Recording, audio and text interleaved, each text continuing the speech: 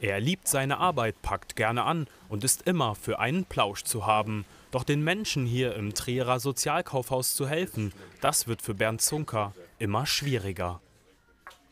Mein, mein Traum war, das hier zu machen, bis ich in die Rente gehe und, und dann irgendwas äh, an jemand anders übergeben zu können, dann, dass es weitergeht. Das ist ja nichts, was einem gehört. Das muss man pflegen und das wird immer schwieriger. Und ähm, da habe ich Angst, dass das halt nicht so, dass ich da den Kampf irgendwann verlieren werde. Das Sozialkaufhaus der Trierer Nothilfe ist seit fast 40 Jahren eine Institution in der Stadt. Es ist die letzte soziale Einrichtung mit vollem Sortiment. Egal ob gespendete Klamotten, Möbel oder Fernseher, hier kann jeder für kleines Geld fündig werden oder selbst etwas vorbeibringen. Das sind mittelalterliche Romane. Ja. Und da bringe ich nach bringe ich noch welche vorbei. Gut, dann bringen Sie die vorbei. Schön nach und nach, gell? Nicht alle auf einmal. Ja, ja, ja, ja. Alles klar, gut. Okay, Dann danke. machen wir. Merci für den Anruf. Ciao. Jo, tschüss. Das ist normales Geschäft. Und wer selbst nicht kommen kann, bekommt von Bernd Zunker und seinen Mitarbeitern Besuch. Wir äh, haben Frau, eine Frau gehabt, die ist todkrank gewesen mit zwei Kindern. Die hat Krebs und äh, die muss dann, die Spülmaschine ist kaputt. Die muss Bedarfsprüfer kommen lassen, beim Amt einen Antrag stellen, das dauert vier bis sechs Wochen. So, die Frau ist mitten in der Chemo.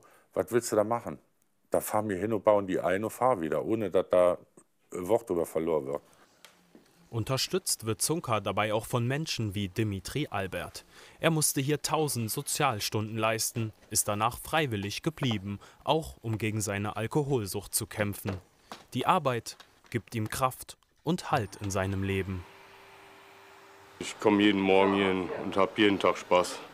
Die Kollegen sind super. Nach und nach konnte ich mich da durch diese Struktur wirklich bessern, damit umgehen. Ja, und das hilft mir auf jeden Fall, wahrscheinlich den Sprung auch noch mal ins normale Arbeitsleben zu kriegen.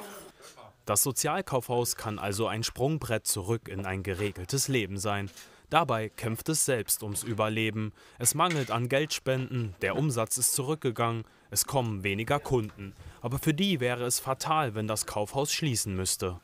Ich komme seit 20 Jahren hierhin, früher auch mit meinen Kindern, weil hier gibt es also Sachen, wo nicht so teuer sind.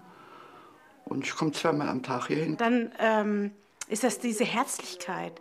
Ja, die Leute sehen mich, man begrüßt einen, man sagt Hallo, herzlich willkommen, sie freuen sich, sie lächeln einen an und das bekommt man halt heute leider schon ein bisschen weniger. Und ist eine wichtige Anlaufstelle, jetzt, jetzt nicht nur was Konsum angeht, sondern auch was Kontakte angeht, für viele Menschen in Trier.